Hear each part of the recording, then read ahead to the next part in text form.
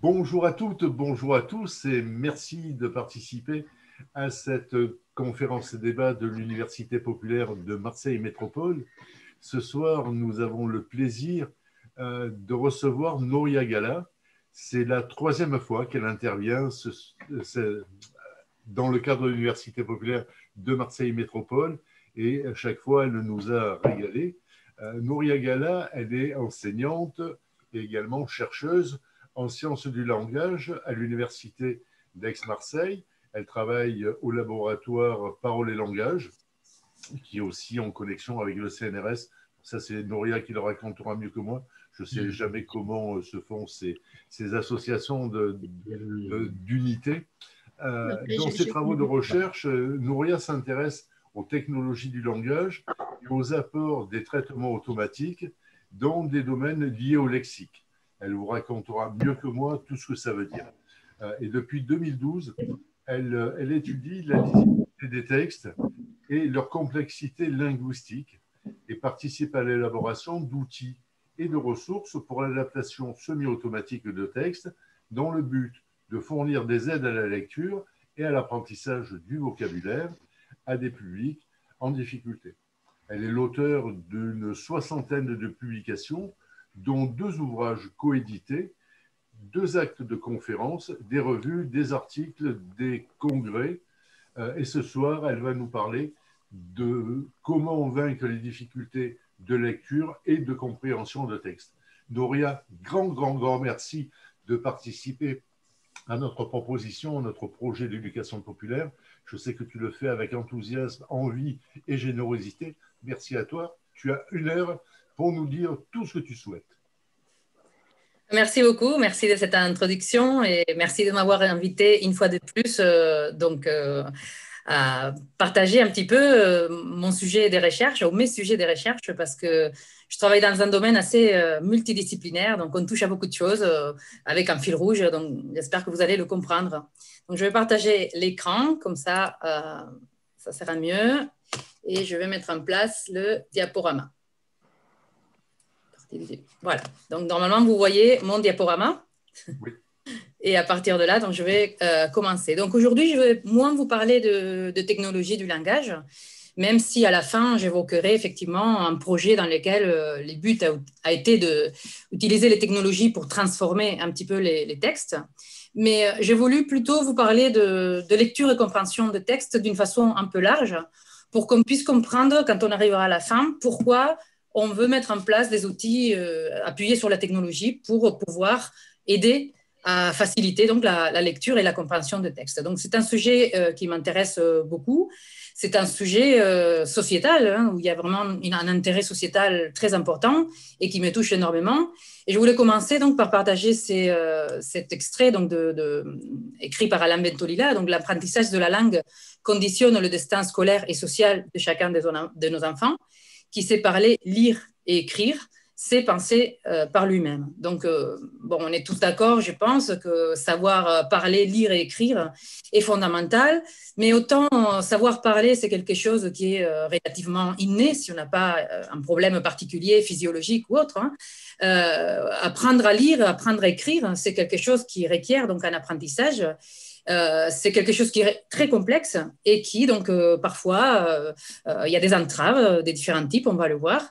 Et donc, euh, si on peut euh, aller dans le sens d'aider, faciliter la lecture à toutes ces personnes qui sont en difficulté, eh bien, je pense que c'est vraiment une contribution, euh, une, petite, une petite contribution donc à faciliter la vie à nombre de, personnes qui, qui, en ont besoin. Dans, cette présentation, je vais aborder la lecture de façon très générale et, donc comment on apprend à, lire et qu'est-ce qui est difficile dans l'apprentissage de la lecture. Je vais parler de quelques publics en difficulté. Ça me permettra de vous montrer différents types de cas parce qu'il euh, y a vraiment une panoplie différente. Hein. donc, il y a beaucoup de, difficultés et de cas différents par rapport à, la, difficulté des lectures. Et enfin, donc, je vous parlerai de l'adaptation de textes authentiques, qui est donc euh, un petit peu le, but de mon travail et ce qui m'occupe euh, quand je suis en train de faire de la recherche. Donc, la lecture et son apprentissage. Donc, euh, regardons quelques chiffres pour euh, commencer, un petit peu pour euh, se mettre voilà, un petit, un petit peu dans, la thématique. Euh, selon une étude, une étude qui a maintenant déjà une vingtaine d'années, un enfant qui a des difficultés importantes en lecture lit en un an le même nombre de mots qu'un bon lecteur lit en deux jours. Cela étant dit, euh, voilà, on peut se poser énormément de questions. Donc, euh, si euh, y a des personnes qui sont dans la difficulté de, lire ce que, voilà, quelqu'un lit de façon rapide et automatique sans se poser donc des, questions, il y a des personnes qui sont dans, des réelles situations de, de difficulté. Si on regarde ce, graphique, donc, euh, donc le ce graphique montre le nombre de mots lus par jour. Donc, c'est une expérience qui a été faite par des chercheurs euh, par rapport donc, à un temps court, mais ça a été extrapolé donc, à, donc, euh, un nombre de, minutes par jour. Donc, un bon lecteur, c'est ça, il lirait donc un million et quelques mots, un million 823 mots par an. Hein. donc, extrapoler l'expérience, c'était quelques minutes. Ils l'ont multiplié pour arriver à ces chiffres par rapport à un an. Donc, un lecteur en difficulté, en revanche, il, n'en lirait que 8000. Donc, ces chiffres ne parlent pas si on ne les met pas de façon concrète. Donc, imaginons le petit prince, le petit prince que je sais que Jean-Pierre aime beaucoup. Donc, euh, euh, le petit prince a environ 14 000, enfin, environ 15 000 mots. Donc, ça veut dire qu'un enfant en grande difficulté aurait besoin de plus d'un an et demi pour arriver au bout du Petit Prince. Donc euh, voilà, je vous laisse quelques secondes pour digérer cette information parce que c'est vraiment, c'est vraiment très impactant.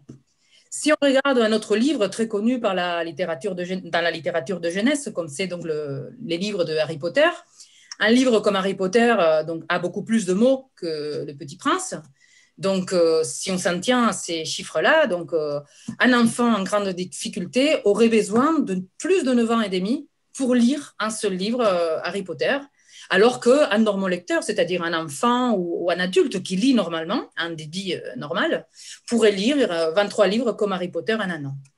Donc ces chiffres étant posés, ça interroge et on peut se dire, bon, y a vraiment des personnes, pas seulement des enfants, hein, on va voir qu'il y a aussi des adultes qui, pour d'autres raisons, sont aussi en difficulté de lecture. Euh, qu'est-ce qu'on peut faire pour venir en aide? Euh, Le sujet de, le fil rouge de l'université populaire cette année, c'est les inégalités. Donc pour moi, ne pas pouvoir lire comme font la plupart des personnes, ne pas accéder à la lecture comme la majorité de, personnes font, c'est quand même quelque chose de très inégal et même donc c'est quelque chose pour laquelle il faut euh, pouvoir se battre, il faut pouvoir euh, contribuer d'une façon ou d'une autre. Alors, si on regarde les enjeux, donc je vous présente juste quelques chiffres pour un petit peu poser le cadre. Donc, euh, il y a des chiffres euh, qui présentent donc les évaluations réalisées donc sur échantillon à, la fin de l'école, donc à la fin du premier cycle euh, scolaire. Et si on regarde les chiffres de 2009, donc on voit qu'il y a 39% des élèves qui sont en difficulté, c'est-à-dire qu'ils finissent l'école primaire et ils ont des difficultés pour identifier le thème ou le sujet principal d'un texte. On leur donne une leçon par exemple une leçon d'histoire, ou une, une, euh, une, petite narration, et ils sont incapables de, de, raisonner et donc d'extraire les informations principales. Ils ne peuvent pas non plus comprendre les informations implicites, et puis ils ne peuvent pas non plus, ils ne savent pas, ils n'y arrivent pas à relier les informations explicites séparées. Ces mêmes résultats, quelques années plus tard, montrent que 11% des élèves de CM2, donc à la fin de l'école primaire, quand ils ont entre 11 et 12 ans, donc, il y en a 11% qui sont en grande difficulté de lecture. Ils sont incapables de prélever directement une information qui est placée euh, dans un texte. Et ces, chiffres, euh, je ne sais pas si vous avez entendu parler par rapport aux mathématiques, donc euh, actuellement, les chiffres sont très bas en mathématiques. Pour la lecture, les chiffres sont aussi assez, assez bas. Alors, si on regarde euh, un petit peu un autre type de public, donc les jeunes, donc les jeunes qui ont fini une scolarisation obligatoire et pour certains donc sont allés euh, au lycée, enfin il y en a beaucoup qui sont allés au lycée quand même. Donc ça, ce sont des chiffres issus des journées de défense et citoyenneté. Et euh, on peut voir donc que 4,3% de la population des jeunes, donc ayant entre 16 et 17 ans, donc, euh, je crois qu'ils étaient autour de 33 000 jeunes qui avaient participé à cette journée euh, défense et citoyenneté, donc en 2015. Donc, sur la totalité du territoire français, hein, il y en a 4,3 qui sont incapables de euh, lire un texte et d'en extraire des, informations fondamentales. Donc, comprendre un texte court et être capable d'extraire des informations d'un document comme un programme de cinéma. Donc, euh, des informations de la vie quotidienne, quotidienne où il faut donc euh, parcourir un texte et être capable d'extraire des informations principales. Donc, effectivement, ces chiffres varient beaucoup selon la région, selon le territoire. Néanmoins, ils sont quand même assez euh, importants. Et si on regarde les chiffres de 2018, hein, ce qu'on voit, c'est que ces chiffres s'est aggravé, c'est-à-dire qu'on est passé de 4,3 à 5,2. Donc ça, c'est pas très satisfaisant de savoir que 5% de la population des jeunes bon, qui ont participé aux journées de défense et citoyenneté, mais bon, il y a quand même beaucoup de jeunes qui doivent participer à cette euh, journée. Donc le taux est quand même euh, très, très grand. Enfin, un dernier tableau pour présenter un petit peu des chiffres et contextualiser la, situation. PIRL, c'est une enquête euh, au niveau international qui mesure les capacités en compréhension de l'écrit euh, au niveau de 7-8 ans. Donc 7-8 ans, ça doit correspondre au cycle euh, élémentaire en France. Donc on voit que la moyenne européenne se situe là, donc on arrive donc à 540 points. Et malheureusement, si on regarde par rapport à la France, mais aussi à la Belgique, hein, donc la, ah non, ça c'est la, Belgique euh, flamande. Si on regarde la, Belgique francophone, c'est encore euh, pire. Hein. Donc, on arrive à des taux qui sont vraiment inférieurs à la moyenne. Donc, ces évaluations-là, ce qu'elles euh, regardent, c'est un petit peu la, compréhension des textes aussi bien informatifs que narratifs. Et en fait, on remarque, d'après des, donc si on regarde de près les résultats, euh, les enfants de cet âge ont beaucoup de mal à comprendre des textes informatifs hein, et euh, il y en a beaucoup qui sont incapables d'inférer des informations, c'est-à-dire euh, faire des inférences, ça veut dire donc extraire des informations à partir d'informations qui ne sont pas forcément présentes dans le, dans le texte. La situation n'est pas, pas très satisfaisante au niveau de, de l'apprentissage et on peut se poser beaucoup de, de questions. Donc, comment ça se fait que donc, les apprentis lecteurs, hein, qui ait autant qui aient des difficultés à lire et à, et à comprendre les textes? Parce qu'on parle beaucoup de lecture, mais en fait, euh, qui dit lecture dit compréhension. Ça ne sert pas grand-chose de lire un texte si, euh, à la fin, on n'a pas été capable de le comprendre, c'est-à-dire d'extraire les informations euh, plus importantes. Donc, quand on parle de lecture et compréhension, il y a deux éléments qui sont fondamentaux et on ne peut pas euh, étudier l'un sans tenir compte de l'autre. Donc, vous l'aurez compris, d'un côté, il y a le texte et de l'autre, il y a le lecteur, la personne qui va lire euh, le, le, texte. Du côté des textes, effectivement, on peut s'intéresser pourquoi un texte est difficile à lire donc, euh, on peut dire qu'effectivement, il y a des problèmes typographiques. La typographie n'est pas très claire, les mots sont très petits, l'espacement entre lignes euh, n'aide pas à la compréhension, etc. Il y a des mots difficiles d'un point de vue linguistique. Hein, on peut regarder du côté de la linguistique. Euh, on peut s'intéresser au lexique. Les vocabulaires utilisés dans les textes est un vocabulaire difficile, c'est des mots rares, c'est des mots techniques. Hein. ce sont des choses qui peuvent vraiment complexifier la lecture. Et puis, il peut s'agir de la syntaxe, c'est-à-dire tout ce qui touche aux phrases. Les phrases des, textes peuvent être très longues. Il peut y avoir des constructions, des structures euh, enchevêtrées ou beaucoup d'incises, beaucoup de choses qui difficultent la, lecture. Hein. Il peut y avoir aussi des problèmes par rapport à l'organisation des idées, les, noms de personnages ou euh, le, fil conducteur qui est un petit peu diffus. Donc, euh, par rapport au texte, on va pouvoir agir sur aspects, on va le voir, de façon à faciliter la lecture euh, en tenant compte des besoins des différents publics. Donc, on va pouvoir agir au niveau du lexique et de la syntaxe, mais aussi avec plein d'autres euh, leviers qu'on va voir euh, plus tard. mais il y a quand même une marge de manœuvre pour pouvoir rendre les textes plus accessibles. Ceci dit, ça ne sert à rien de travailler sur un texte, comme je dis, si on ne garde pas en tête à qui on s'adresse, à qui ce texte est dirigé, quel est ce type de texte, parce qu'on ne lit pas pareil euh, un courrier de l'administration ou des impôts qu'un roman le soir quand on est tranquille à la maison et qu'on veut un petit peu s'évader.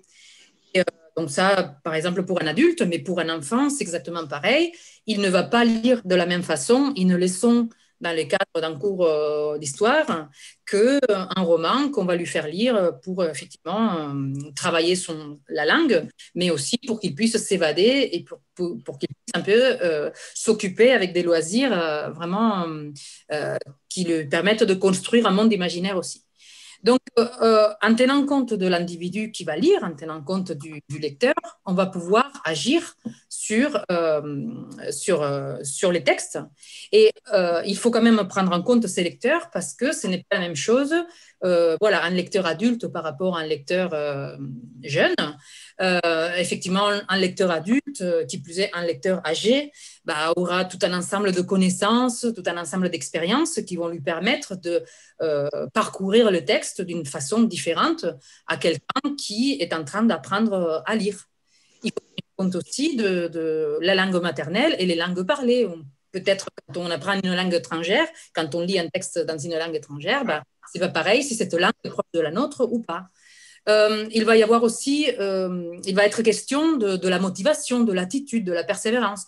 Tout ça, ce sont des choses qui vont contribuer à l'expérience des lectures. la lecture va se faire très différemment si on prend en compte tous ces facteurs-là. Donc, je vais parler maintenant de, lecture, mais avant de parler des lectures, il faut parler un petit peu d'écriture. Parce que finalement, lire, ça veut dire euh, quelque part appréhender un support écrit. Et euh, si on se pose la question, donc, euh, de quand date le, premier support écrit Donc, ça vient de, très loin. Normalement, on date plus ou moins la naissance de l'écriture, les premières traces écrites euh, arrive donc euh, vers moins de 3000, mais ça c'est une date un petit peu euh, posée comme ça. En fait, on, a par exemple les tables ici d'argile de Ebla qui sont un dictionnaire bilingue hein, dans lesquels il y a deux langues et ça, ça date de moins de 2400, moins de 2300. Récemment, on a découvert aussi cette inscription élamite, hein, donc, qui daterait de moins de 2150 à moins de 2100. Et puis, donc ça, c'est très loin, c'est très lointain. L'écriture était très différente. C'était une écriture euh, un peu logographique. C'était des, pictogrammes qui apparaissaient ici. Il y a eu une énorme évolution, hein, donc 5000 euh, ans d'histoire de, l'écriture. Euh, il y a eu énormément d'évolution et on est passé donc à des systèmes qui sont plutôt alphabétiques. Donc nous, on le doit aux, Romains. Hein. L'écriture, l'alphabet latin vient des Romains qui eux-mêmes l'ont emprunté des Grecs et des Phéniciens et des Étrusques, etc., etc. Donc, pour arriver à notre alphabet actuel, euh, tout ça, ça vient de loin, ça suivi des évolutions et des transformations importantes. Et bon, on parle de l'alphabet latin, mais il y a aussi l'alphabet euh, arabe, etc. On ne va pas rentrer dans les détails, mais le support, il y a eu aussi une évolution dans les supports. Les supports étaient gravés dans la pierre ou dans le bronze. Après, il y a eu le papyrus, etc. Et grâce à l'imprimerie, donc, on a pu avoir des supports euh, sur papier l'écriture a pu se démocratiser et, du coup, si l'écriture s'est démocratisée, la lecture euh, aussi. Et puis, on arrive au siècle actuel dans lequel euh, souvent on a des, supports numériques. Donc, on lit euh, à travers l'écran d'ordinateur. Donc, voilà, l'évolution de l'écriture et ça, nous amène très loin dans l'histoire. Qu'est-ce qu'on en fait de cette écriture? Une fois on a le support écrit, qu'est-ce qu'on en fait? Bah, On le lit ça veut dire euh, lire. Donc lire, ça consiste en donner un sens aux signes graphiques. Donc euh, ces signes graphiques sont abstraits parce que euh, le fait en A comme on fait actuellement, ou en B, ou en D, ou en Q. Donc, ce sont des symboles qui aujourd'hui sont complètement hein, éloignés de, la forme originale. Et donc, quand on apprend à lire, il faut s'approprier c'est si Ce n'est pas la même chose non plus apprendre à lire dans une langue à alphabet latin, à apprendre à lire dans une langue comme, comme l'arabe, par exemple, où c'est plutôt consonantique. Mais là encore, c'est quand même des, sons qu'on encode. Si on apprend à lire en chinois, on apprendra à lire autrement, puisque là, les signes de l'écriture du mandarin, par exemple, correspondent à des idées, donc euh, correspondent à des entités de sens euh, à part entière. Donc, différents, les systèmes d'écriture sont aussi très différents. Notre système donc d'écriture latine, hein, qui est celui qu'on utilise et qu'on maîtrise, qu'on a la chance de maîtriser. Donc, l'idée, c'est que quand on apprend à lire, on apprend à déchiffrer en quelque sorte ces signes graphiques.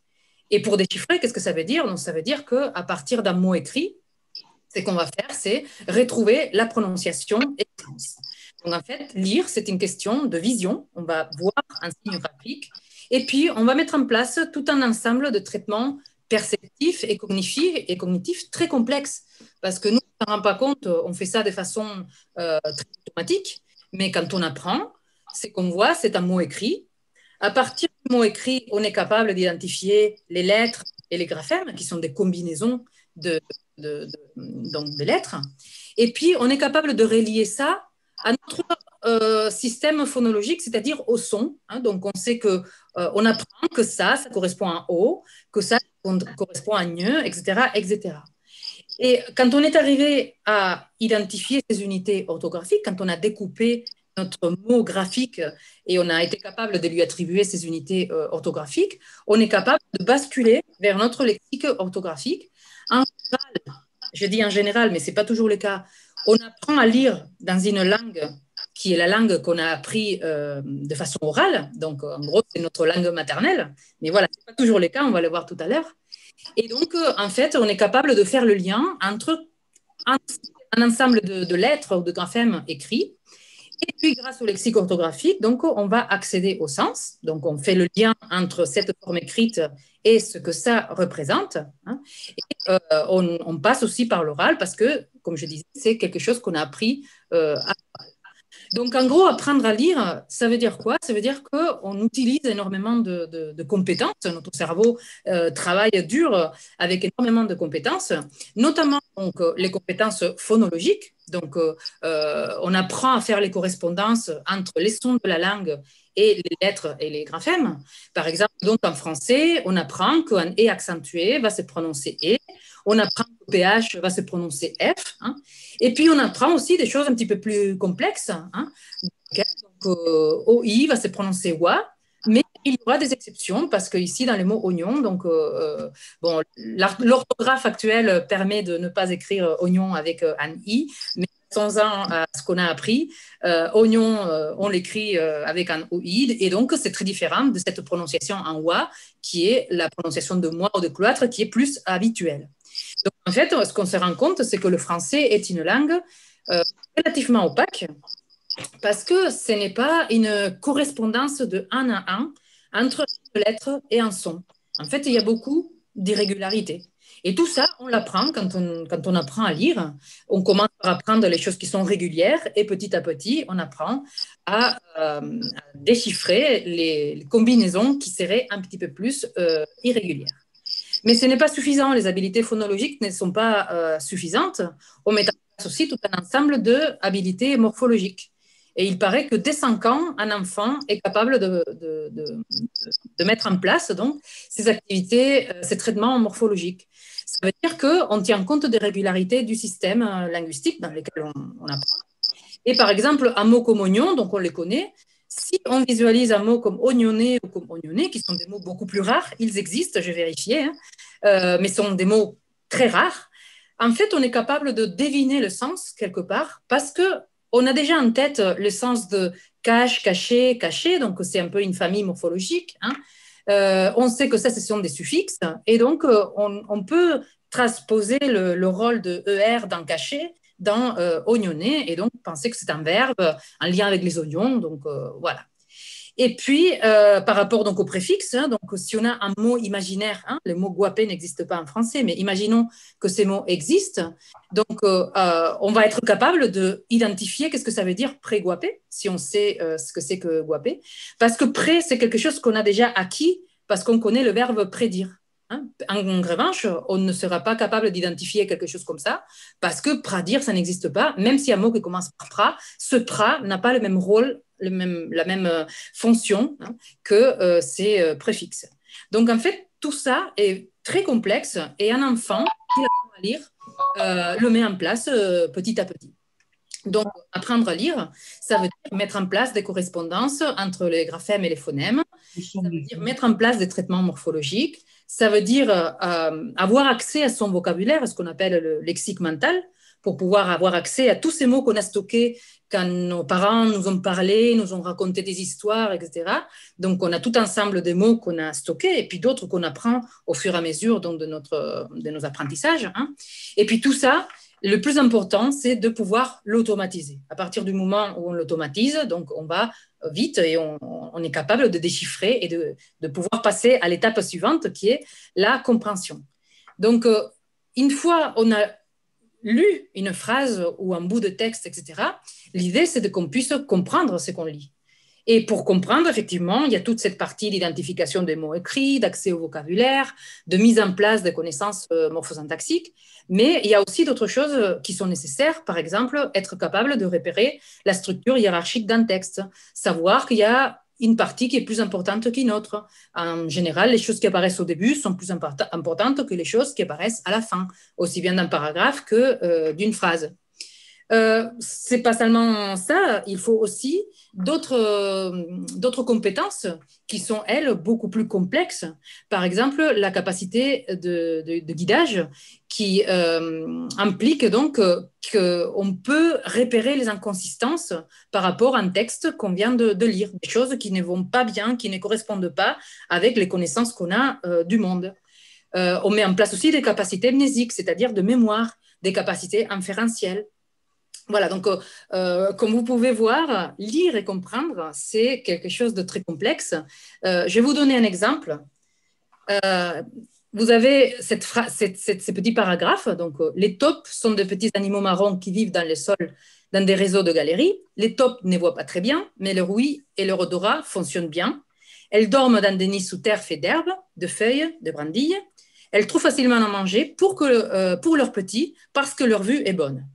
Donc, pour pouvoir lire et comprendre euh, ces bouts de, texte, euh, effectivement, on met en place tout cet accès lexical, donc cette identification des mots écrits, etc. Mais tous ces aspects complexes euh, sont aussi très importants. Par exemple, donc j'ai mis en, en, jaune, enfin en orange, les mots qui sont un petit peu plus complexes peut-être euh, le mot taupe, euh, bah, ce n'est pas quelque chose euh, d'assez accessible si on n'a pas une connaissance du monde où l'animal est proche de notre, de notre quotidien, on va dire. Hein. En plus, par rapport au français, donc, il faut comprendre, donc, il faut savoir que c'est AU va se prononcer O. Donc, peut-être ça nous permettra, quand on le prononce, taupe, hop, on a accès donc à notre mot si on a pu entendre auparavant. Oui, brandille, c'est peut-être de mots aussi plus, plus complexes.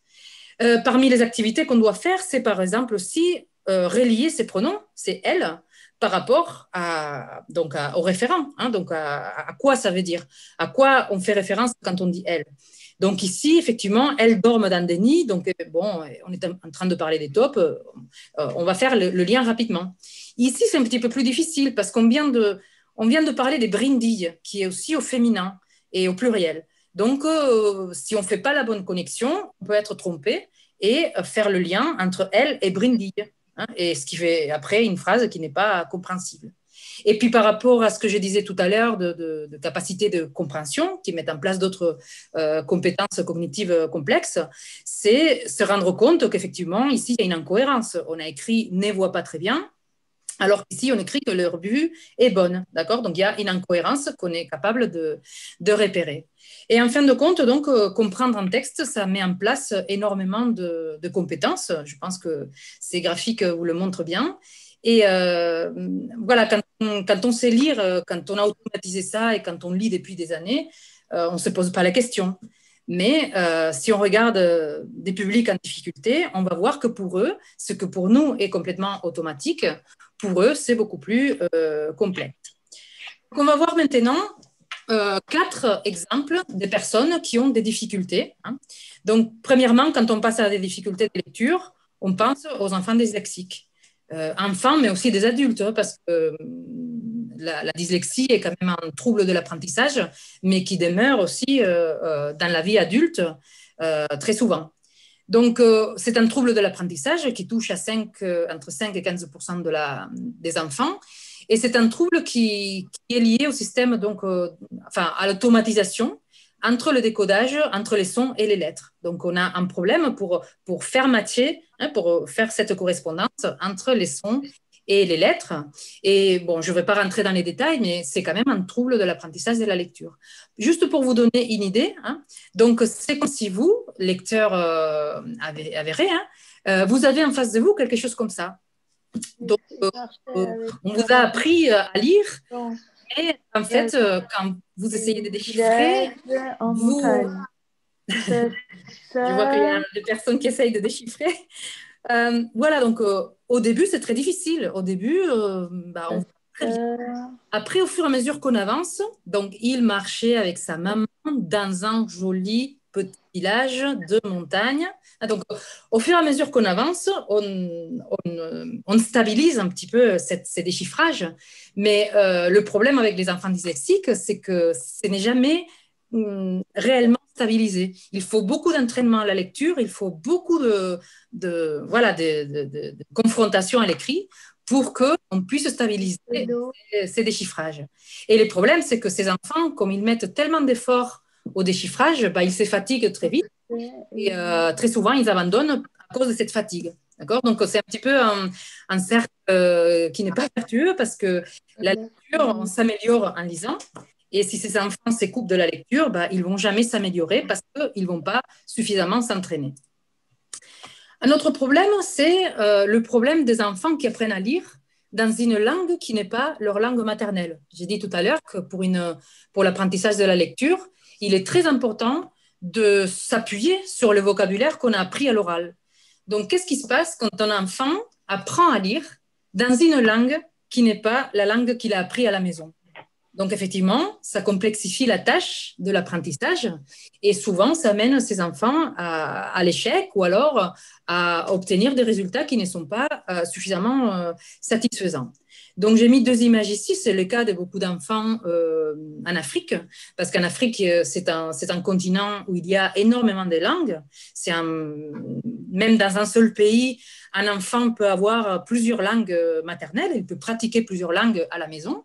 Et il se trouve que du fait de la colonisation, ou pour des raisons historiques, quand il va aller à l'école, il va apprendre à lire en anglais, en français ou en arabe euh, moderne standard, hein, qui ne correspond pas du tout à la langue qu'il aura apprise à la maison. Et c'est le cas aussi des enfants sourds qui ont la langue des signes comme langue maternelle.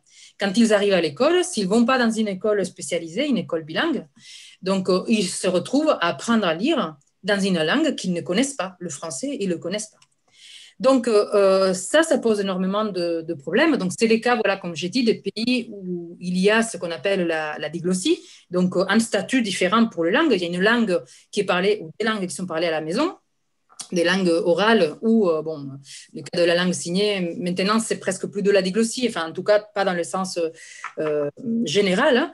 mais en, tout cas, ce que je veux dire c'est que la, la, langue maternelle, souvent toutes ces langues orales parlées dans ces pays euh, africains, n'ont pas le statut que la langue qui est utilisée à l'école, qui est une langue donc historique ou, comme je disais, issue de la, colonisation, donc le français, l'anglais ou le euh, bon l'arabe moderne standard, ça serait plus une langue historique, mais qui a beaucoup évolué et par exemple, donc, euh, en Tunisie, les enfants apprennent le tunisien à la maison et quand ils sont face à l'écrit, euh, c'est une langue qui est quand même assez différente. Hein, et avec le temps, c'est de plus en plus euh, différent.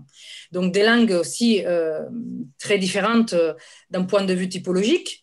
entre le français et le bambara, bah, c'est deux langues d'un point de vue de, la structure de la langue, de la, de, des, des, syllabes, etc. C'est une langue très, très différente. Donc, les enfants euh, qui apprennent à lire en français alors qu'ils ont appris le bambara, ils se trouvent face à un système qui est complètement différent. Et voilà, je mentionnais aussi les problèmes de, la langue des signes, parce que c'est une langue où la modalité est très différente. Et donc, apprendre à lire en français alors qu'on a appris la langue des signes à la maison, ça pose aussi énormément de, problèmes. Un autre, cas de public en difficulté, c'est euh, les adultes euh, qu'on appelle les adultes illettrés. C'est-à-dire, euh, ce sont des personnes qui sont allées à l'école, hein, donc ce n'est pas la même chose que les personnes qui sont analphabètes, qui, elles, n'ont jamais été en contact avec l'écrit. Euh, les cas des personnes illettrées, ce sont des personnes qui sont allées à l'école, mais qui, pour des raisons différentes, elles sont en échec, elles ont abandonné, et donc elles se retrouvent à l'âge adulte incapables de lire des textes de la vie quotidienne. Et je ne dis pas des textes, je dis pas des romans. Hein. Malheureusement, ces personnes sont un peu coupées d'une activité de lecture euh, loisir. Mais néanmoins, dans la vie quotidienne, vie quotidienne on a besoin d'avoir accès à des textes écrits pour, pour la banque, pour les impôts, pour, pour les courriers. Hein. Et euh, donc, euh, ces personnes-là ont beaucoup de difficultés pour y accéder.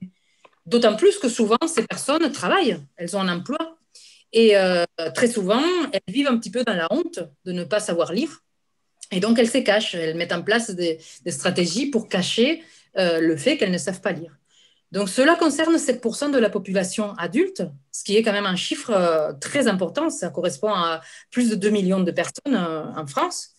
Et euh, plus de la moitié donc, ont plus de 45 ans. Donc, c'est plutôt euh, une tranche d'âge, dans les adultes, un peu, disons, euh, pas, les, jeunes à proprement parler, même si tout à l'heure, je parlais de aussi 5% de la population des jeunes qui, qui sont donc illettrés.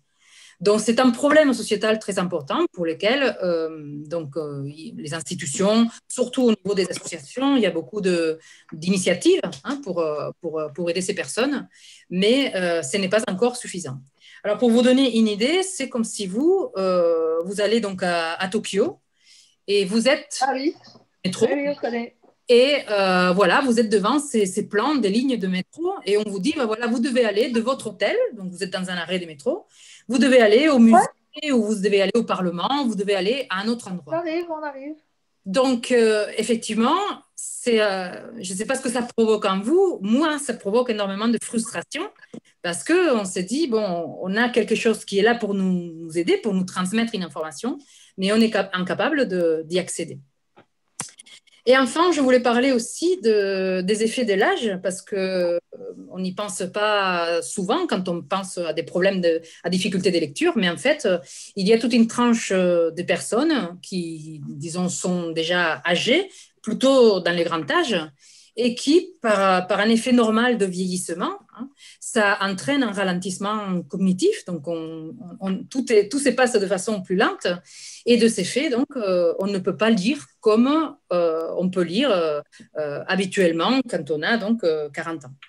Donc, je ne parle pas là de vieillissement pathologique, c'est-à-dire des personnes qui ont des maladies spécifiques liées à la vue ou liées à, d'autres dégénérescences. Hein. Je parle d'une personne âgée qui, juste, elle a 80 ans, 90 ans, et qui donc a le temps pour lire. Mais malheureusement, il y a des choses qui se compliquent et qui font que la lecture devient plus, euh, enfin, devient une difficulté.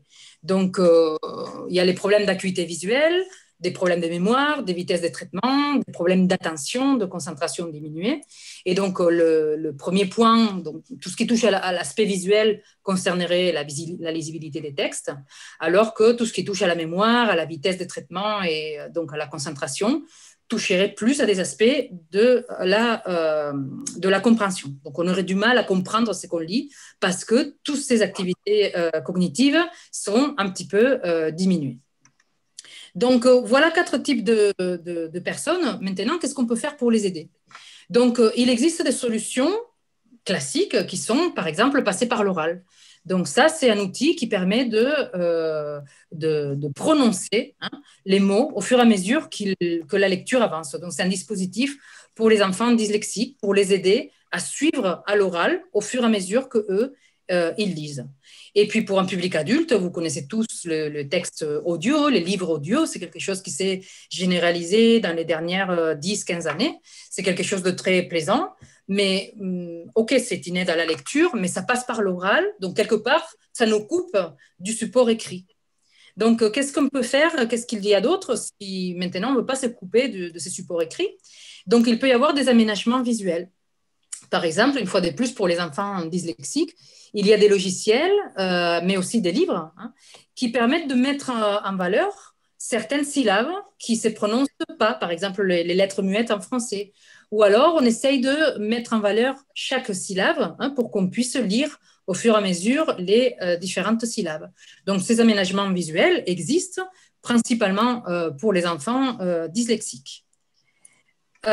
pour les jeunes, pour les jeunes, disons, jeunes et adultes, il y a aussi des versions raccourcies ou des, versions allégées. Euh, des grands classiques de la littérature. Donc ça, j'ai mis enfants et jeunes, mais effectivement, même si on l'appelle littérature de jeunesse, c'est aussi euh, un type de texte qui peut être adapté, par exemple, à des personnes âgées qui sont en difficulté. Mais bon, on va voir que ce n'est pas tout à fait ça, puisque euh, un jeune, effectivement, il n'a pas les capacités cognitives ralenties, hein, diminuées, du fait de l'âge, bien sûr. Et donc, ça peut être une solution, mais ce n'est pas complètement approprié. Donc, du coup, voilà, que faire hein? On a quelques solutions qui existent. Qu'est-ce qu'on peut faire d'autre? Donc, euh, une des solutions hmm, possibles et sur laquelle je travaille depuis un moment, c'est donc l'adaptation du contenu de textes authentiques. Donc, ici, il s'agit de travailler sur le contenu de texte, donc pas seulement sur les aspects typographiques euh, ou sur les aspects euh, visuels de façon à les rendre plus visibles. Ici, il s'agit donc d'adapter les contenus, donc d'un point de vue euh, principalement linguistique et typographique. Donc pour ça, on fait des recommandations. Il y a des normes maintenant qui commencent à, être, donc qui existent, hein, qui se mettent en place. Cette norme ISO, par exemple, c'est une norme pour la communication claire. Cette notion de langage clair, c'est quelque chose qui, est en train de prendre du terrain. Euh, vous allez voir euh, spécifiquement dans quel type de domaine. Donc, euh, le but dans tout ça, c'est de faciliter la lecture. On a vu qu'il y a des publics en difficulté, que c'est un besoin sociétal. Ce qu'on veut, c'est quoi? Ce qu'on veut, c'est agir sur les ressentis des personnes. Et donc, ce qu'on veut éviter, c'est des ressentis comme j'ai du mal à lire le texte. le texte est fatigant, j'ai perdu la concentration, je ne vois pas le rapport entre les notions présentes, je ne vois pas de quoi on parle. Donc, tous ces types de, points, on peut, euh, on peut essayer de voir qu'est-ce qu'on peut faire. Et donc, euh, ce qui va nous intéresser, c'est ça, c'est au niveau de la charge lexico-syntaxique, euh, qu'est-ce qu'on peut faire au niveau du lexique et au niveau de la syntaxe pour alléger les textes et donc le rendre beaucoup plus lisible. Donc, pour faire ça, il y a deux façons de faire. Euh, la première chose, c'est créer des textes à partir de rien. C'est ce que j'appelle ex nihilo. Donc, euh, on n'a rien et on demande à un auteur, on demande à, quelqu'un d'écrire euh, un texte de façon donc à, suivre des recommandations et pouvoir mettre en place ces langages clairs. Donc, pour ça, bien sûr, on tient compte du public donné. Ce n'est pas la même chose écrire un langage clair pour un adulte illettré ou pour euh, quelqu'un qui a une déficience cognitive euh, euh, quelconque, enfin, ou spécifique. Hein. Et puis l'autre solution, c'est d'adapter les textes, c'est-à-dire les transformer, donc les simplifier, euh, j'utilise avec beaucoup de précaution les termes de simplification parce que les buts, ce n'est pas de simplifier et d'alléger les textes donc, euh, et de les rendre euh, dépourvus de, donc, de leur complexité juste pour voilà, simplifier. Hein. Les buts, c'est de vraiment les rendre accessibles à des personnes qui sont en difficulté. Et voilà, toujours en gardant en tête, en tête qui c'est qu'on a devant, donc à qui s'adresse le texte qui, qui va être transformé. Donc, dans le premier type de, de cas, euh, il y a une maison d'édition qui est issue de, tout un travail associatif, donc c'est l'initiative euh, La Traversée, c'est une initiative euh, belge qui propose donc des livres adaptés aux personnes illettrées. Donc les personnes illettrées se plaignent souvent que les livres adaptés sont plutôt des livres pour enfants. Et donc il y a une littérature plutôt enfantine. Hein. Donc cette maison d'édition, en lien avec des associations d'aide à, la lecture, hein, ils ont créé, ils ont demandé à des auteurs belges d'écrire en suivant donc un cahier des charges et produire donc des livres adaptés à ces publics illettrés. Donc, on a étudié quelles étaient les problématiques du, public illettré et donc on a créé des livres adaptés pour eux. Et euh, bah, vous pouvez voir un exemple de, tiré d'un des livres, de, le, duel par exemple. Ce qu'on peut voir, c'est que ce sont des phrases très courtes. Hein. Dans quelques jours, nous serons en 1900. 1900. Les chiffres font peur à Babushka. Elle n'est pas la seule à avoir peur. Donc, euh, on peut voir que la consigne qui a été donnée euh, à, à, l'écrivaine a été donc de, faire des phrases très courtes, d'utiliser des mots euh, faciles, des mots accessibles. Hein. Donc, il y a tout un cahier des charges qui a permis de créer à partir de rien un roman, un roman qui a quand même son style littéraire, mais qui est quand même adapté à ces publics en difficulté. Donc, en l'occurrence, les publics illettrés. Donc, les exemples que je vais vous donner euh, par la suite, ce sont des exemples où il y a eu une transformation, C'est-à-dire, il y avait un texte original créé par un auteur, hein, et ce qu'on a fait, c'est que on les a euh, transformés de façon à les adapter. Donc, euh, il y a cette collection euh, Bellage, qui est une collection très récente et donc qui a été créée par une ancienne, enfin une, étudiante avec laquelle j'ai travaillé l'année dernière et qui vise donc de pouvoir adapter de la littérature pour les personnes âgées. Donc ici, ce n'est pas une question de, simplifier à outrance. Non, Maëlle, ce n'est pas la peine d'insister il s'agit de, euh, euh, il s'agit de pouvoir amener ce public à lire les, euh, les textes. Donc ici, le levier pour pouvoir simplifier les textes ont été bien sûr la typographie, mais aussi la structure du texte, les personnages. Par exemple, on prend des, des, noms de personnages francophones, on répète souvent les noms de ces personnages. On va travailler aussi sur la syntaxe, par exemple, on va réduire les phrases, mais pas pour euh, donc voilà les simplifier d'une façon comme on a vu pour les, éditions de la traversée, plutôt donc pour garder un style plaisant. Et on met en valeur certains aspects, par exemple les dialogues ou un petit résumé du début, pour pouvoir euh, faire que la personne s'accroche hein, et qu'elle puisse donc se remémorer des aspects importants de l'histoire si elle a laissé les livres d'un jour à l'autre. Donc, euh, ça, c'est deux exemples par rapport à la littérature. Mais je vous ai parlé tout à l'heure des difficultés dans la vie quotidienne par rapport à des textes administratifs, hein, par rapport à des textes donc de, euh, de la banque, de finances, etc., ou par rapport à d'autres types de textes. Donc depuis quelques années, bon, ça a commencé aux États-Unis euh, dans les années 1970, euh, quelque chose comme ça. Donc les États-Unis sont bien en avance par rapport à ça. Ils se sont rendus compte qu'il y avait beaucoup de personnes qui n'avaient pas accès aux textes administratifs. Et donc, ils ont mis en place cette initiative qui s'appelle Plain Language, dans laquelle ils ont poussé l'administration américaine à simplifier les, contenus. Et cette initiative a vu le, jour aussi donc en Europe, donc pour différentes langues en Europe, euh, avec cette initiative qu'on a traduit par langage clair. Donc, qu'est-ce que c'est le langage clair? C'est effectivement réduire certains aspects de, des phrases pour pouvoir les rendre plus accessibles à des personnes en difficulté, notamment voilà, dans des domaines administratifs, médicaux aussi, hein, donc euh, financiers, etc., euh, de façon donc à pouvoir accéder au contenu. Et euh, quelques consignes, donc quelques leviers, par exemple, on commence toujours par définir les buts du document. Si on est dans un document d'assurance, on va commencer par dire ce document va vous permettre de comprendre tel et tel aspect. on place donc les buts au début du texte pour que la personne puisse s'ancrer hein, par rapport au contenu qui suit après.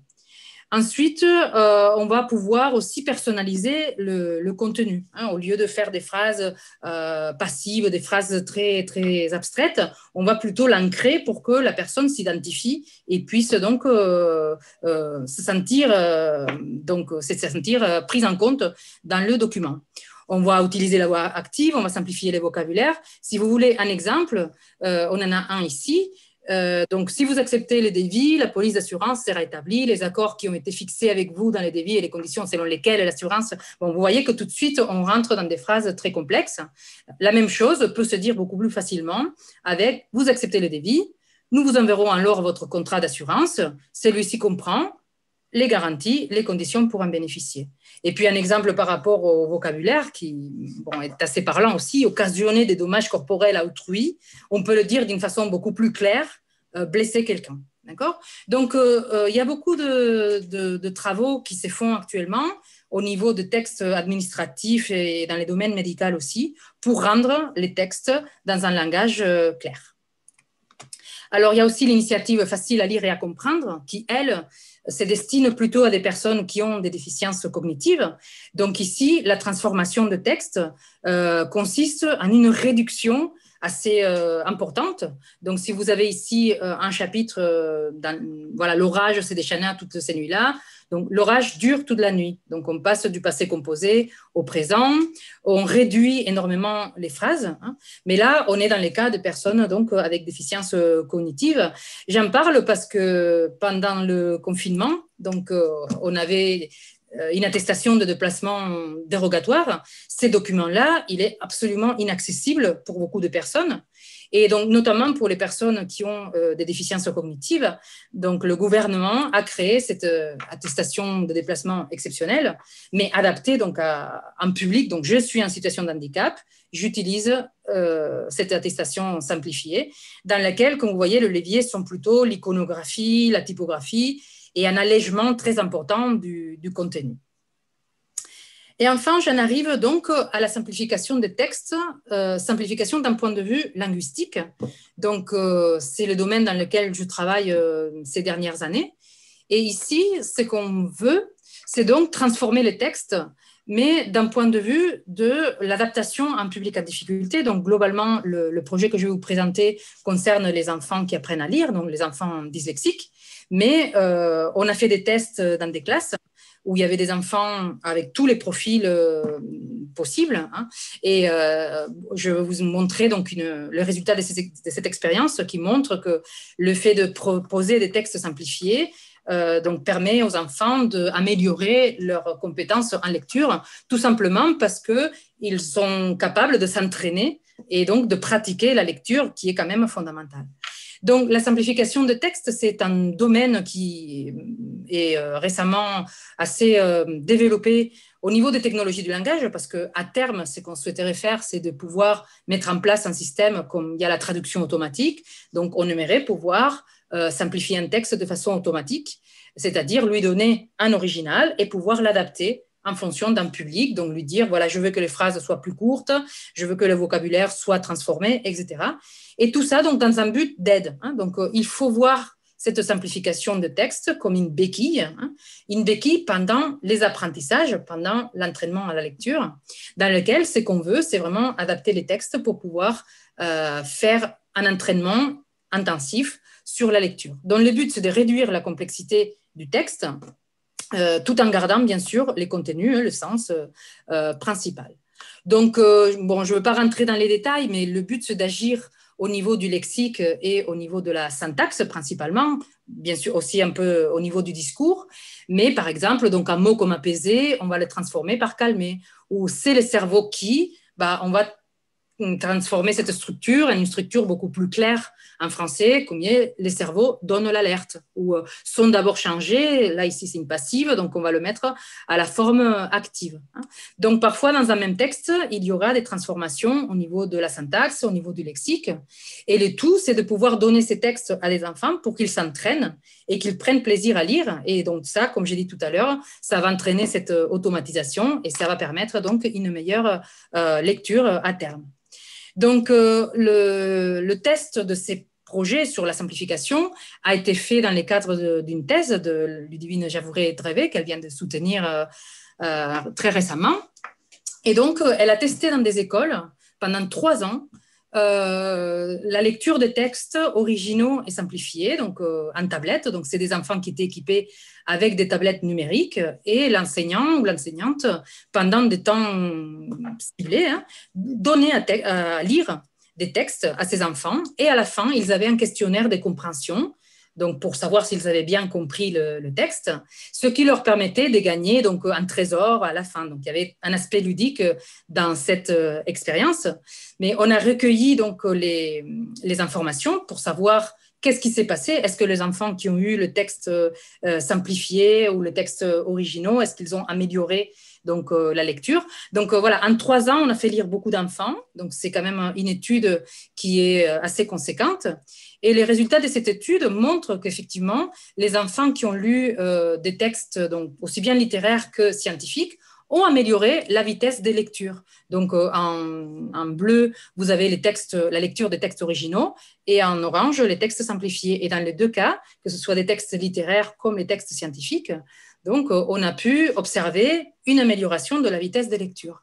Et par rapport à la compréhension, ces enfants répondaient à un questionnaire de compréhension le même questionnaire euh, mm, s'ils avaient lu les textes originaux ou s'ils avaient lu les textes euh, donc. Un enfant ne lisait pas les deux versions, donc il lisait soit l'original, soit la, version euh, simplifiée.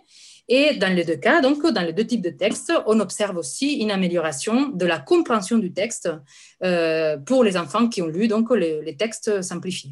Donc ces résultats sont très encourageants parce que euh, ce n'est pas seulement les enfants dyslexiques qui ont bénéficié de ces dispositifs, c'est aussi les enfants, quel que soit leur, leur profil. Donc euh, ça, ça montre bien que la simplification de texte toute proportion gardée. Effectivement, ce n'est pas une simplification à outrance, hein, c'est une simplification très euh, mesurée du vocabulaire et des structures syntaxiques, permet d'améliorer donc euh, l'activité de lecture. Et euh, tous ces résultats-là, donc, on a travaillé dans les cadres d'un projet qui est le projet euh, Alector, un projet qui vient de se finir, qui a commencé en 2017, qui a eu, donc, dans lesquels on a travaillé plusieurs équipes donc de, psycholinguistes, d'informaticiens, de linguistes.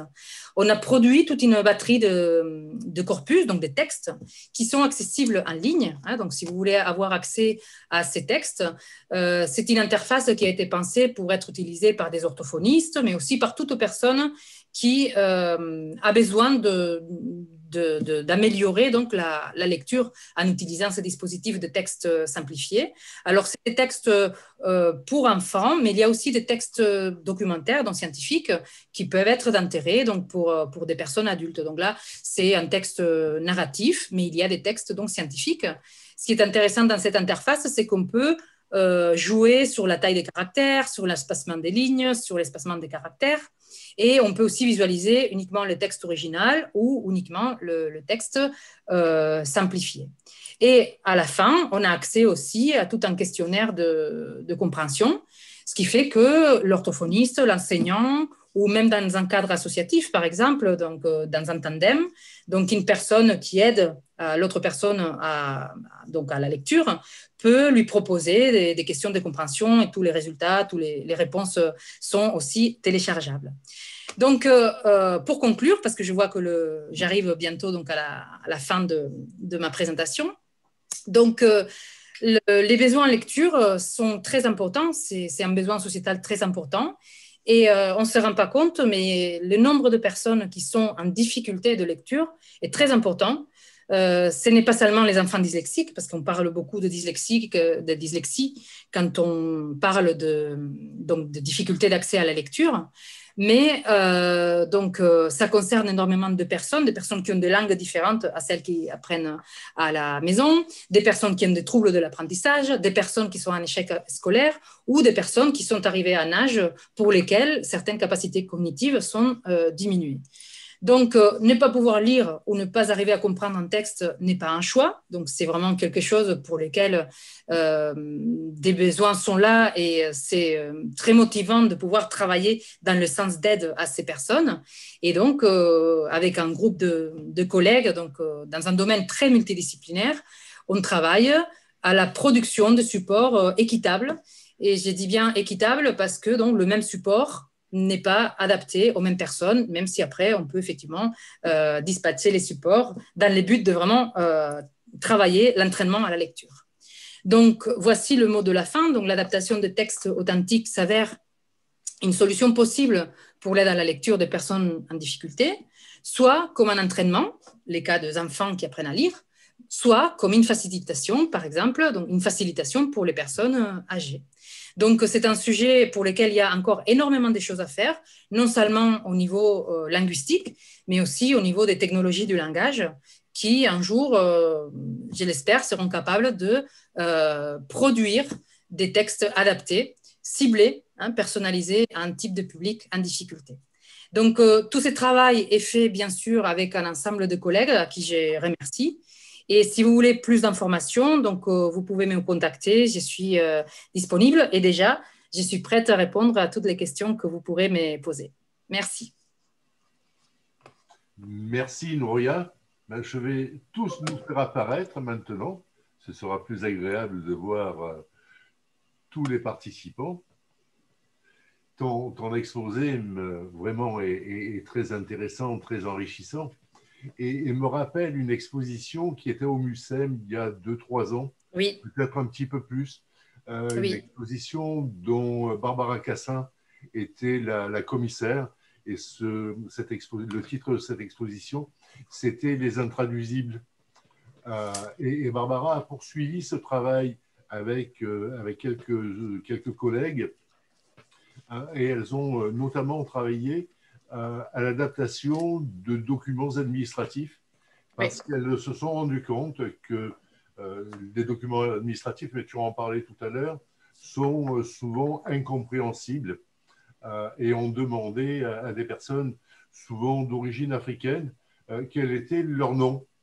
Et ces personnes ne savaient pas répondre parce qu'elles ne savaient pas si c'était le nom de leur village, si c'était le nom de leur père, si c'était le nom de leur mari, duquel de leur mari, parce que souvent elles en avaient plusieurs. Euh, et puis aussi des choses très surprenantes, lorsqu'on leur demandait leur date de naissance, euh, je ne sais pas si vous m'entendez, il y a plein de choses qui se passent sur mon écran là. Oui, en fait, on voit l'écran de Marie Sabatino. Je ne sais pas pourquoi. Elle a dû cliquer sur partager le. Je vais, je vais supprimer le partage d'écran. Voilà.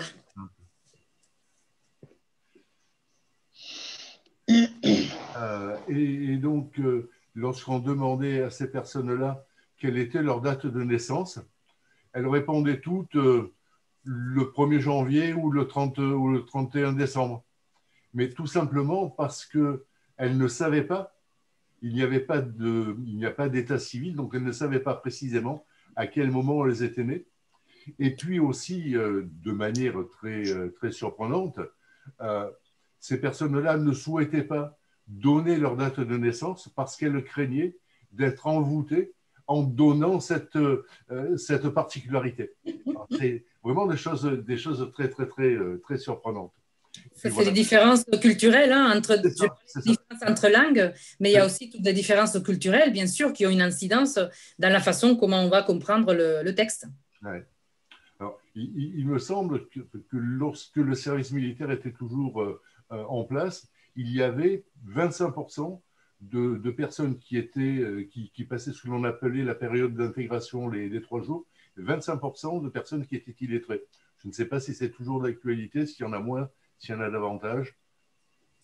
Euh, bon, là, il n'y a pas le service militaire, mais voilà, ces journées de défense et citoyenneté, quand même, c'est des jeunes de 16-17 ans, donc des jeunes qui ont fini la scolarité euh, obligatoire. Et quand même 5% des jeunes qui ne sont pas capables de lire un texte euh, simple de la vie quotidienne, c'est quand même énorme. Ouais je, vais laisser la parole aux autres, parce que moi j'ai plein, plein de choses à dire là-dessus. C'est un sujet qui me passionne. Qui veut, qui veut poser des questions, intervenir, faire des remarques Dire à, euh, dire à Nouria que c'était excellent?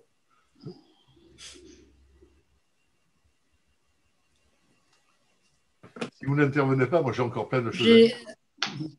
Je ne sais pas si parmi les participants, il y a Nathalie Girard, qui est donc euh, euh, une personne qui a travaillé donc avec moi l'année dernière et qui est donc euh, à l'œuvre pour les additions Bellage?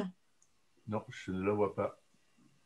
Parce que donc je lui avais dit d'éventuellement venir et pouvoir expliquer un petit peu sa, sa démarche, mais bon, je vais bien expliquer tout ça, je pense moi, je, moi j'aurais une, une, question. Euh, je fais du soutien scolaire euh, auprès d'enfants euh, du primaire mhm. et je voulais savoir s'il existait déjà des textes simplifiés ailleurs que ceux que vous avez produits dans le cadre de l'étude et qui sont téléchargeables, donc si j'ai bien compris, sur euh, votre ANR à lector, mais est-ce que est-ce qu'il existe euh, dans les bibliothèques déjà des livres, euh, on va dire, qui ont été écrits en écriture simplifiée pour Alors dans cette, dans cette approche qu'on a fait nous, non, pas tellement, mais il y a mm. pour faire ça, on s'est appuyé quand même sur des travaux, par exemple, pour les, pour les enfants dyslexiques. Donc, il y a quelques collections pour les enfants dyslexiques, et ça, vous pouvez les trouver dans certaines bibliothèques. Et sinon, il y a la, voilà, la, littérature de jeunesse aussi que j'ai mentionnée. Effectivement, mm. une version d'une œuvre euh, littéraire euh, majeure a pu être euh, adaptée. Mais voilà, ce n'est pas la même approche que, que, nous, on met en place. euh, ce que j'ai dit tout à l'heure, c'est que nous, on vise à terme pouvoir automatiser un petit peu autant que possible. On sait que ça ne sera pas complet, mais autant que possible. Pourquoi? Parce qu'effectivement, ce travail de simplification, c'est un travail euh, euh, très coûteux en temps, qui demande beaucoup d'heures. De, donc, effectivement, on a 79 textes à l'heure actuelle. C'est pas beaucoup. Ils sont en ligne, ils sont disponibles si vous voulez y accéder, mais le travail doit se poursuivre. Et euh, moi, mon intérêt, c'est ça, c'est d'aller vers les technologies du langage pour pouvoir euh, avoir une aide à la production de ces textes. Hum. Je, pense en particulier euh, à la lecture des contes, parce que c'est vrai que très souvent, quand on fait, on propose de la lecture aux enfants, euh, on va puiser dans les contes, mm-hmm. d'ailleurs, de d'autres pays, etc. Mais mm-hmm. c'est vrai qu'on se heurte très souvent quand même à des contes, pourtant dans des collections pour enfants, qui ont un, vocabulaire quand même très élaboré, des mm-hmm. contextes très compliqués, et, et on voit bien que euh, les enfants peuvent assez vite décrocher. Quoi. Voilà, il y a plein de, choses qui leur manquent. Donc, euh, c'est vrai que euh, ces textes-là, si on pouvait les avoir en, simplifié. voilà, mais allez voir sur le site. Voilà, il y a la moitié qui sont scientifiques, donc. issus de, de, revues quand même de, jeunesse, hein. mais la moitié c'est littéraire, donc il y a des narrations, il y a des contes issus de la littérature un peu de, du monde, hein. et voilà, pour l'instant, c'est pas assez, mais c'est déjà un début. Et euh, D'accord. quelques temps, on en, produira d'autres. Merci. Et euh, j'en profite pour vous dire euh, bonsoir parce que je vais être obligée de quitter la conférence. Voilà. Très bien. Merci beaucoup. En tout cas, c'était très intéressant. Bonne soirée. Merci, bonne soirée. D'autres interventions? Alors, bonjour. Bonjour. Moi, je voulais vous encourager à continuer. Je trouve que c'est une très, très bonne parce que je me sens concernée euh, là-dedans parce que j'ai des gros problèmes de, de, concentration, de compréhension des textes, mmh. même de documents administratifs. Oui, oui, oui. Bon, j'ai euh, le bac, j'ai fait une année de droit. Après, je, bon, je suis maître nageur, mais je, je, je vous avoue que j'ai des gros problèmes de concentration et mhm, mhm. Euh, j'ai tendance à m'endormir sur mes livres. Alors, j'ai deux livres là, à lire actuellement sur le temps présent et je suis obligée de relire, relire cinq fois les mêmes phrases. Mhm. Oui, j'ai parlé des problèmes de concentration pour les personnes âgées parce que c'est bon. Mais effectivement, il y a aussi des cas de, personnes adultes. Euh, euh, selon le type de texte, c'est très difficile d'y accéder. Voilà donc, euh, ouais, donc euh, il y a beaucoup de. Ça, pour les documents administratifs, c'est plutôt toutes ces initiatives sur le langage clair. Et c'est quelque chose qui se développe. Donc, euh, je pense que dans les années qui viennent, il y aura de plus en plus de, textes adaptés ou transformés de façon à, les rendre plus accessibles. Bravo. Je, crois que je vais m'inscrire à la collection Bel Âge. Merci. De rien. une méthode qui permet de, de, travailler la concentration, c'est de, lire régulièrement des textes simples. Euh, et parce qu'on prend l'habitude de, lire et, de, porter son attention, ensuite on s'y habitue et on peut accéder à des, documents davantage compliqués. Oui, comme je disais, la, lecture, c'est un entraînement. Plus c'est comme la gym aussi. Hein. Plus on en fait, plus on est souple. Donc, euh, la lecture, c'est exactement pareil. Plus on lit, plus euh, on, s'y habitue. Mais bon, après, c'est pas seulement une question de lecture, hein, c'est une question de compréhension. Et là, ça touche à plein d'autres compétences.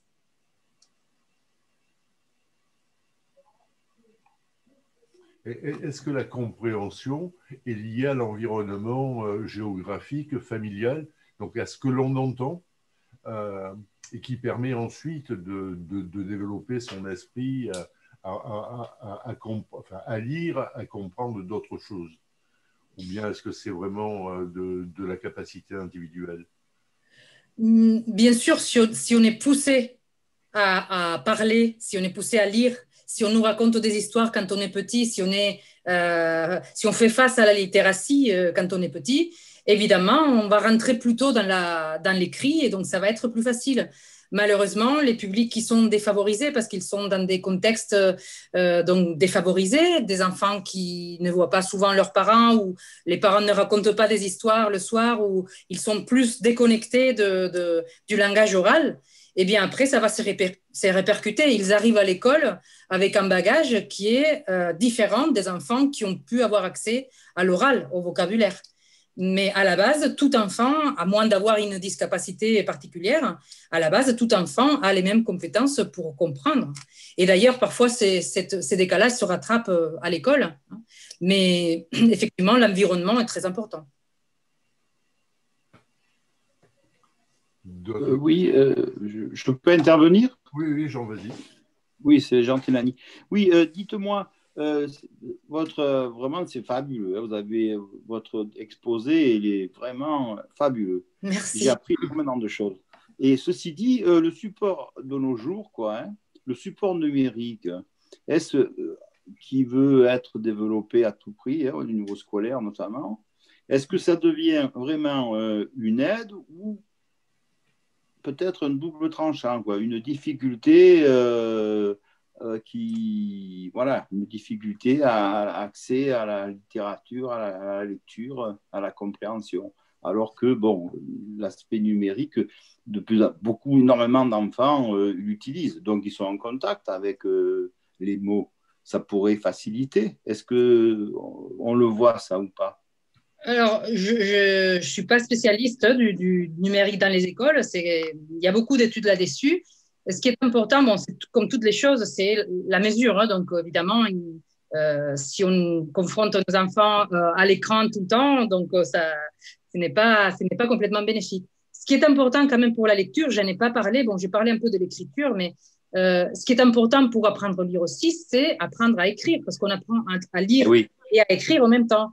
Et ça, c'est très important parce que le fait de faire le geste, le geste d'écriture, le fait de fixer l'attention sur euh, donc le A, le E, etc., etc., ça, ça aide beaucoup.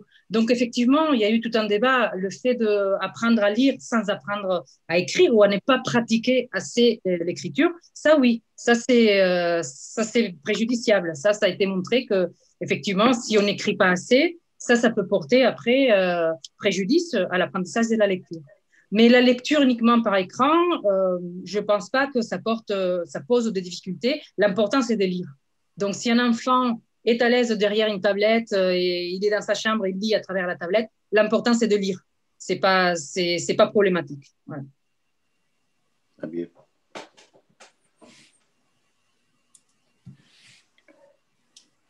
Et,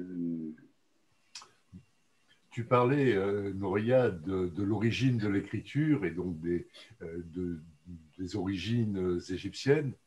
Euh, et à propos des hiéroglyphes, on dit qu'il y a trois sens de compréhension, trois sens de lecture. Le sens ordinaire, le sens réservé aux, aux pratiquants, donc à ceux qui ont l'habitude d'écrire, et le sens sacré. Donc là, on se trouve aussi dans une dans, une, palette de, compréhension extrêmement importante. Euh, et donc, quand on lit le même mot ou quand on entend la même phrase, on ne comprend pas la même chose. Euh, lorsque l'on dit, par exemple, l'aliment debout, euh, si on ne, si on n'explique pas le contexte, on va pouvoir comprendre l'ali dont la personne ment lorsqu'il est debout, Mhm. ou l'alimente le poisson bout, ou la lime en deux bouts. Donc il, y, a, il y, a, toujours des, des, sens de, compréhension différents, euh, et, c'est pour ça que le, le, le, contenu de, de, la phrase est important pour permettre de comprendre le sens des mots. Tout à fait, le, contexte est fondamental. Hein. Après, bon, il peut y avoir un travail sur les mots euh, en individuel, les mots isolés, pour comprendre comment il a été formé d'un point de vue morphologique ou pour pouvoir voir un peu de, enfin, des aspects de, mots isolés, par exemple les différents sens. Mais les différents, les différents sens, on va les comprendre quand on va utiliser ce mot euh, en contexte. Le contexte est très important pour la compréhension. On va placer le mot, on va regarder ce qu'il y a autour. Hein. Euh, en gros, dis-moi avec qui tu vas et je te dirai qui tu es. Donc, pour les mots, c'est exactement la, même chose. Hein. On sait le sens d'un mot parce qu'on le voit dans un contexte particulier. Et euh, effectivement, dans toutes les langues, euh, les mots sont polysémiques, c'est-à-dire euh, on a une capacité à créer des nouveaux sens en gardant des, mots qui existent déjà. Donc, les mots sont polysémiques, ils ont beaucoup de sens, et c'est les contextes qui nous aident à identifier. si je dis le régime quelque chose, bah, selon si je parle d'aliments, donc ça aura un sens. Mais si je parle de politique ou de dictature, là, le mot régime aura tout un autre sens. Donc vraiment, les mots qui sont dans les contextes sont très importants pour pouvoir comprendre euh, le sens d'un mot. Et d'autant plus dans les cas d'un mot qu'on ne connaît pas, d'un mot qu'on voit pour la première fois. Parfois, on arrive à deviner les sens parce qu'on est capable de euh, savoir le sens des mots qui sont à côté.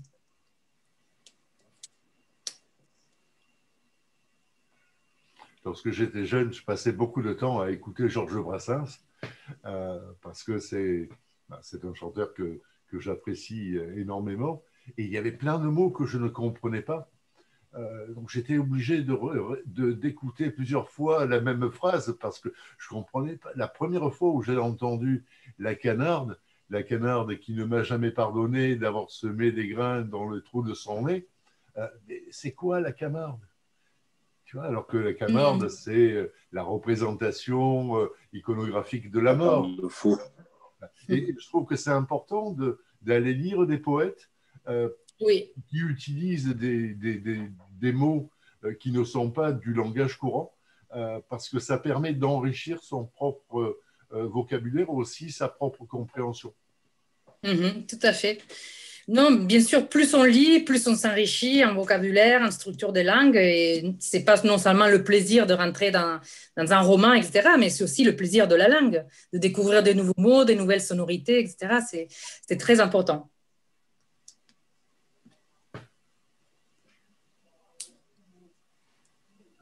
Bon, peut-être que tu. Parce qu'il n'y a pas de réaction, moi je trouve que c'est dommage, j'ai plein de questions à te poser. Est-ce que tu peux nous parler de, de ce que l'on appelle la lecture rapide, savoir euh, le parcours de texte qui permet quand même de comprendre le sens des, le, sens des textes sans lire les mots les uns derrière les autres. Donc la façon dont on lit habituellement, c'est ce que tu expliquais, où on associe euh, les lettres les unes avec les autres, qui composent un mot, et ce mot compose ces mots composent des phrases, et c'est ce qui permet de comprendre. Mais il y a aussi des techniques de lecture rapide qui permettent de parcourir un texte très très vite et d'en comprendre quand même le sens alors, je ne suis pas spécialiste de, cette technique, mais ce que j'imagine que tu veux dire, c'est que euh, parfois, on est vraiment submergé d'informations hein, et donc on, a besoin de faire un peu une lecture euh, en diagonale. En diagonale. Voilà, et notre cerveau, notre vue, hein, elle est capable de repérer euh, les mots qui portent sens, c'est-à-dire les noms, les verbes, les adjectifs et les adverbes. En gros, c'est ces quatre catégories-là qui sont importantes parce que ce sont elles, ce qu'on a, c'est les mots qui portent vraiment le sens. Tout ce qui est les pronoms, les déterminants, les conjonctions, etc., ça, c'est ce qu'on appelle le petit mot, hein, les mots grammaticaux, qui, eux, vont apporter un sens euh, par rapport à la langue. Mais du coup, quand on veut faire une lecture rapide, une lecture en diagonale, notre cerveau va être capable de les éliminer en quelque sorte. Et donc, on va juste fixer notre attention sur les mots qui sont importants, donc les mots qui, transmettent euh, un sens. Un traitement automatique de la langue, c'est un petit peu ça aussi ce qui se passe avec l'ordinateur. Hein. Quand il y a des grandes quantités de données, ce qu'on fait, c'est que très vite, on élimine euh, tous les mots, euh, les petits mots, hein, comme on les appelle comme ça, donc, euh, très vite, on les élimine parce que ce qui nous intéresse, c'est les mots qui sont porteurs de sens. Et si on veut faire un résumé automatique ou si on veut faire euh, euh, une traduction automatique d'un texte, ce qui va être important, ça va être les mots pleins, les mots qui sont porteurs d'informations sémantiques. Donc, un lien avec un événement ou une chose dans le monde, une référence dans le monde. Voilà. Après, la technique en diagonale, je, voilà, suis pas spécialiste de la lecture. Moi, c'est plutôt donc euh, les, textes et les sciences du langage, la linguistique. Mais effectivement, cette euh, lecture en diagonale, euh, c'est utile dans les cas où il y a beaucoup d'informations à, lire, à prendre en compte.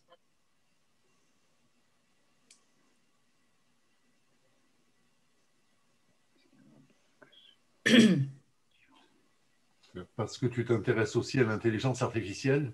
En tous les cas aux techniques et l'intelligence artificielle, oui, j'avais fait, j'avais fait une intervention il y a deux ans donc, à l'Université populaire sur les technologies du, du langage, hein, des machines et des langues.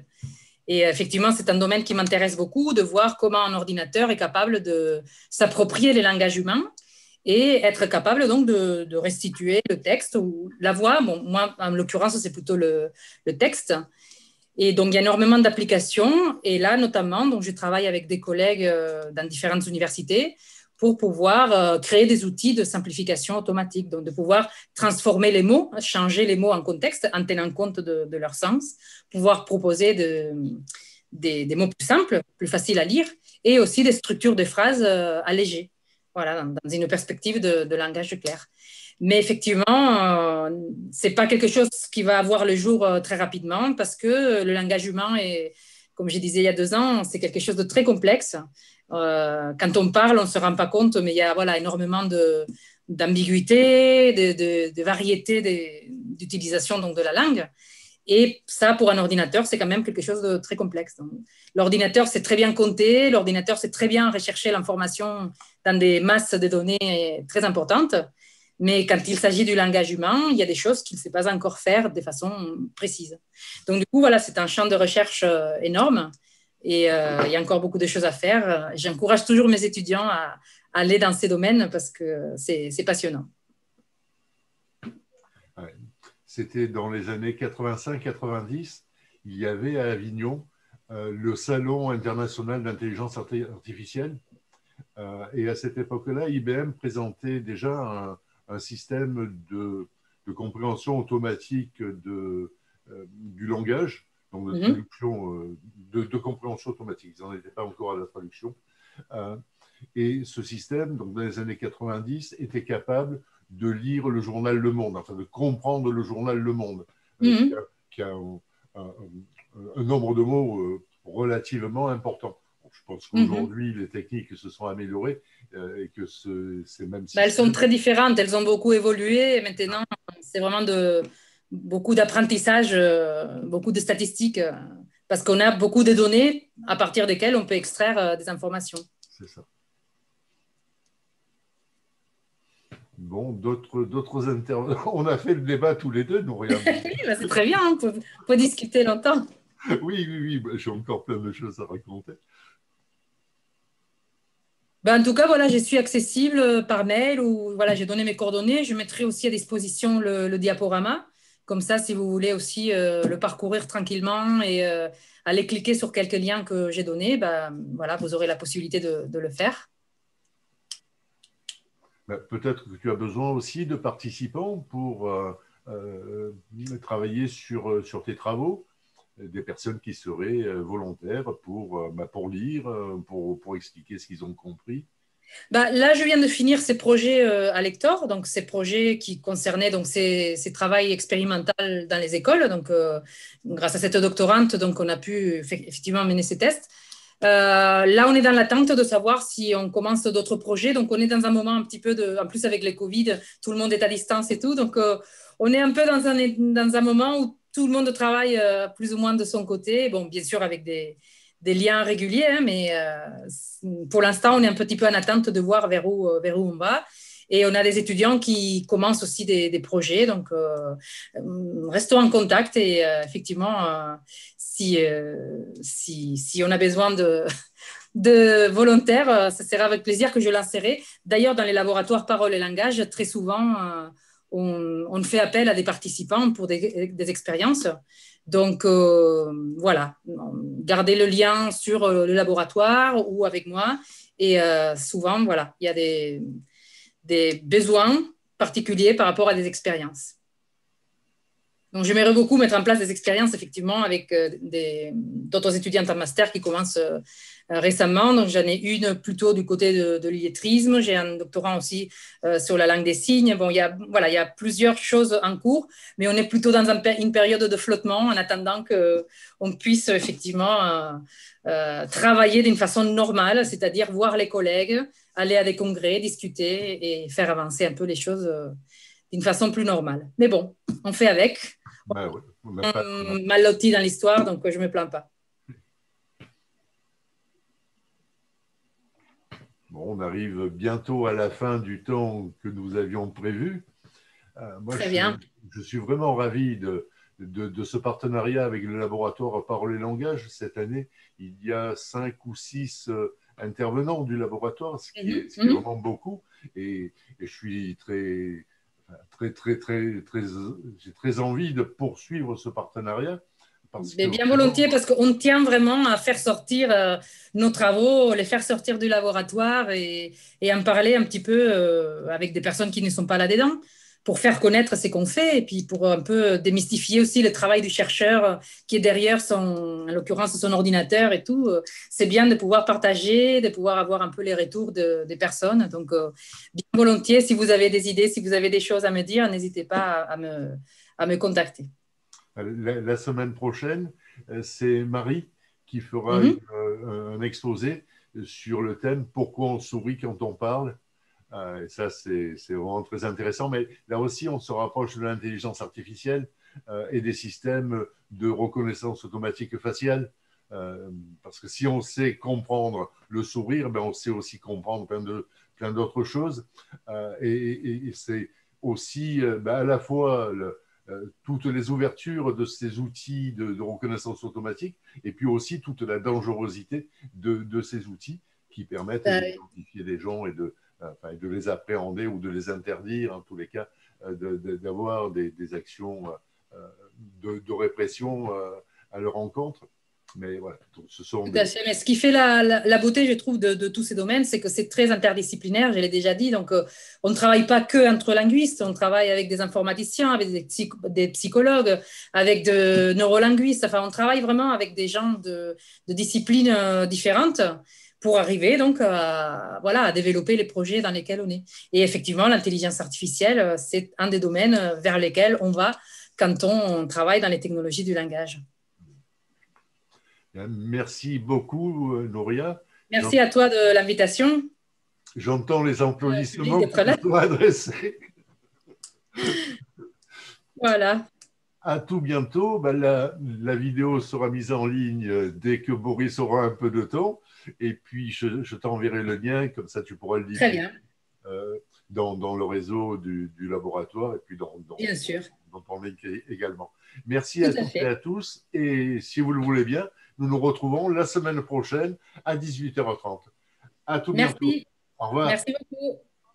Merci. Merci.